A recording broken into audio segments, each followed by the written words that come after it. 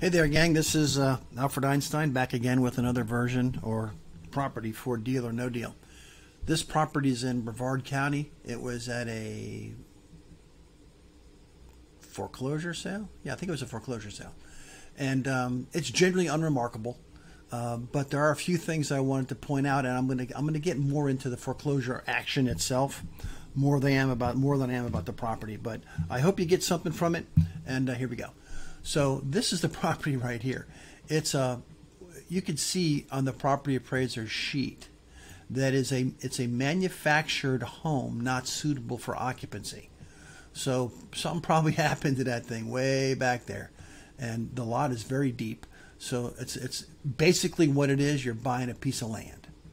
You're buying a piece of land, and it's been like this for a while, evidently, because the assessed value for 2022 uh, has gone down from 2021, but it's still just 9,000 bucks is what it's worth.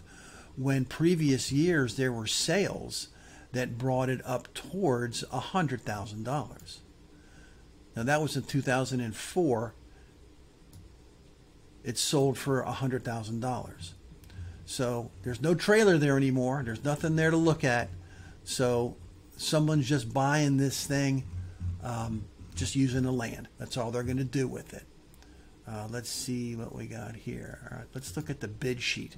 So this is the foreclosure bid sheet. Brevard County, Florida is one of the only counties left in the state of Florida, if not the only state, where they have live auctions.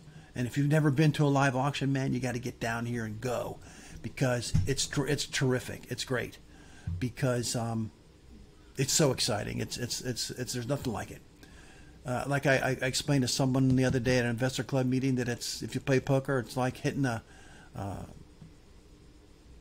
hitting a full house on the flop, and there's all hearts on the board, so you know someone's playing a flush and they're going to bet into you. So that's the excitement there is in a uh, in an auction. So here we have everybody's first name. Now, a, a poor clerk has got to write down everybody's name as they bid. So you see, sometimes she she cuts it up. Like if Nick bids twenty eight thousand, uh, Chris bids twenty eight five. She just writes five hundred. So it kept on going up, and the highest bid ended up being fifty two thousand. North Brevard Property is the company that bought it.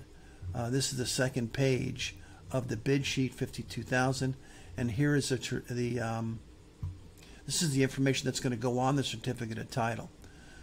Uh, there's the sale date, successful bid, North Brevard Properties. That's their address. If you want to write them and ask them about the property, I bet they would appreciate it. So let's see. That's it for that. So 52. What do you pay? 52. 52,000. That's a bit much for a piece of land for me, but I'm not a land guy, so I don't know. But what I want to do is I want to get into the uh, the docket sheet. So this is the electronic docket sheet that covers all the events uh, up to the foreclosure sale. Um, I don't know. It sold for 52. The, the final judgment, I think, was huge. Wasn't the final judgment really big? Final judgment was 82, so it had to be discounted. It already take 52 for the sale. So let's just let's just scroll down and see if we can find. So these are all the summonses of all the people that had to get foreclosed out. Brevard's website is great because you can pull up all these documents as long as they don't have a little lock on them. So filed opposition. Let's go to the final judgment. Certificate of sale, assignment of bid. We'll talk about that in a second. Here's the final judgment. Six page long, and eighty-two thousand was their judgment. So this is just what the judgment looks like. Fifty-nine thousand was the principal, accrued interest because they didn't make a payment since March 2019. So they were they're pretty patient with them before they foreclosed. Took almost two years escrow advances. That's going to be insurance and taxes. Here's the attorney's fees, forty-seven hundred. Court costs. Look at the filing fees, a thousand bucks. Very nice, right? Property preservation. What? What do they preserve? They preserve nothing. That's just a, that's just an add-on fee, man. That's terrible the way they do that. Property preservation to a burnt down building. 4254 hog. There's the sale date. Nothing got changed. So that's the final judgment. So these are all the parties. That's the final judgment. These are the little locks. You can't see that document if it's locked. But essentially, um, what I want to talk about quickly before we move on is an assignment of bid. Okay, an assignment of bid is something that I talk about more in my mortgage purchase course because that's the way you get uh, an assignment to the rights of the plaintiff once an order or a final judgment has been entered. Now, when I when I teach it, I teach that you not only get an assignment of bid, you get an assignment of the final judgment, an assignment of the mortgage, an assignment of the note. And those of you that know a little bit a little bit more, you'll realize that in Florida the mortgage merges into the final judgment. So you can't have a you can't have a final judgment and a, a final judgment and a mortgage. You just have to have one. Uh, so the final judgment represents the mortgage, and the mortgage merges into the into the final judgment. So taking assignment of the final judgment is safe enough, but I like taking assignment of the mortgage too because what if the final judgment gets set aside in bankruptcy? There's a whole lot of things that can go sideways.